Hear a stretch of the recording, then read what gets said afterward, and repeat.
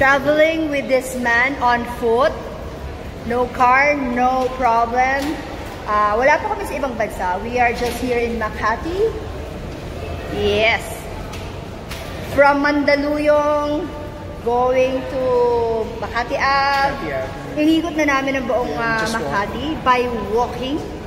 Dahil yan, syempre cardio na rin to at nagtitipid kami ng gas. no jeepney rides, no nothing, just walking. Just walking from our house, papunta rito sa Makati at pabalik ulit sa Makati. Kaya para dun sa mga gustong uh, maging healthy, mas pumayat, magbawas ng timbang. Yep. Yes, you can do this by just walking. Nakatipid ka na sa gas.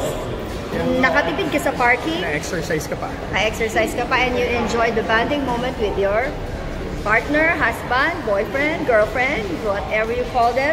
Kaya po, hey, lahat tayo! Makati!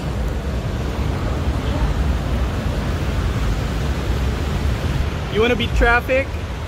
Walk. Morning to evening, we are still walking. Inikot na namin ang buong Makati and then we went to Makati Circuit and now we're still walking going towards our place in Mandaluyong. This is one way of spending our Tuesday, Dad. Yeah. Tuesday, Yeah. Walking is good when you do it with your boyfriend. There. Ayan ang traffic.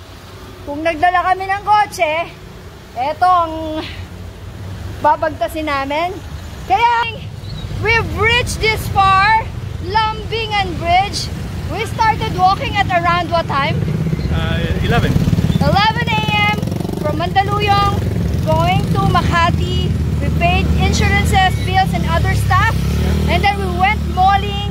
Lakad uli. Puro lakad lang today. Yeah. And now we are here near our place. Walking is good, lalo na kung ganitong ka-traffic. Yes! Nagtipid kami ngayon. No car, no problem. Right, Dad? No car, no problem. Yeah! the whole day of walking. And it feels so good kasi this is a cardio exercise. Pwede na. Tipid sa gas. Not living footprint. Ano? Carbon. Carbon. Okay. Kaya for more of anything happy and walking and pagpapahealthy with your loved ones here, Yeah. please do visit my blog at www. Patienceofjoy.com. See you there. Malapit na kaming makauwi. Pagod. Sobra.